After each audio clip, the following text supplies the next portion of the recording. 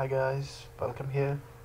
So today I'm gonna show you how you can copy text from the CMD the command prompt. So many of guys have problem while selecting any text in CMD so today I'm gonna solve that problem for you. So let's let me quickly open CMD so this is the command prompt window. So I will make it full screen. Okay.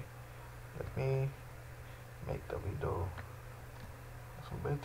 I will resize it. Okay. It is yeah sorry about that. So let me quickly run any command. So I will just run help. So so as you can see I cannot select any text the way we do it normally. I don't know why is that why Microsoft has made it that way but it but it is the way it is. So to select any text you have to right click and mark. Yes. So once you have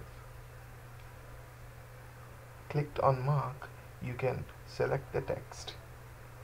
So select this portion or part of our window and after that we can copy it.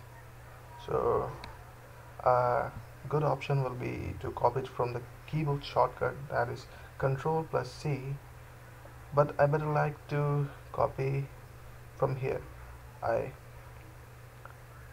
right click on the window itself at the top and then go to edit and then copy. It is the safest way it makes sure that your text is copied.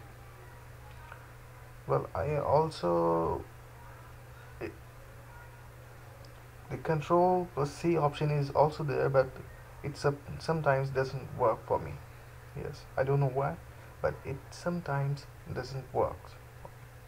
So I rely on this option yes I, I just go to here and edit and mark. So that is the safest way for me.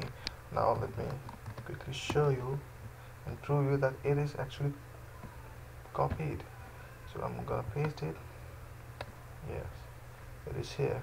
So as you can see of text was copied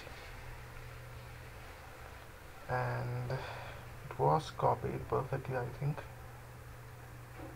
yes well you can't compare as the selection that we made just disappears after we copy the text.